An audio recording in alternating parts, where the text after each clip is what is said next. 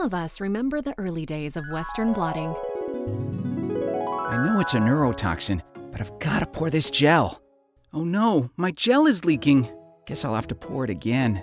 Bands are a little streaky, but it'll do. No! Well, I guess there'll be some dirt on this one. This stuff is fragile, so I will handle it carefully.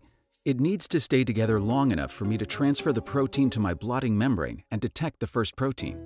You block with some milk and incubate with primary antibody. You've only used it for flow cytometry before, but it should work in a Western, you think.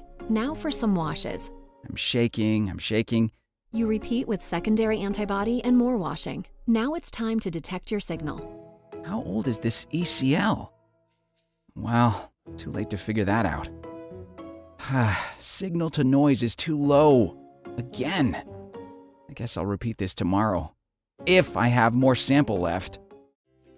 What happens when you tailor your Western blotting protocol to suit your protein of interest and your lifestyle? Here's what you gain when you rethink Western blotting.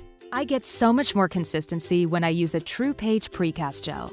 Even my 4% gels don't break when I hold them.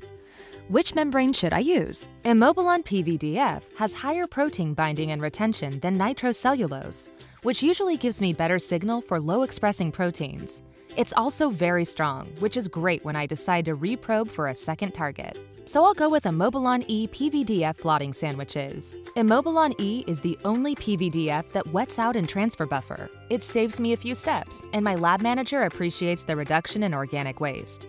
Time to choose my antibody. I'll go with one that's been validated for Western blotting in my cell line, and I know it's phosphospecific.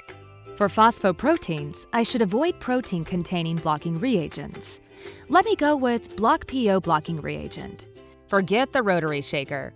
I'm going to do my incubations and washes in the vacuum driven Snap ID system. It'll just suck the reagents through the membrane. 20 seconds for blocking and wash steps? I'll be looking at data 30 minutes from now. My sample in lane 2 might have high expression of the target, and I don't want the signal to be too high. I'll try the medium sensitive reagent first, and re expose with Forte reagent if it doesn't work. Yes, overexpressed in the mutant.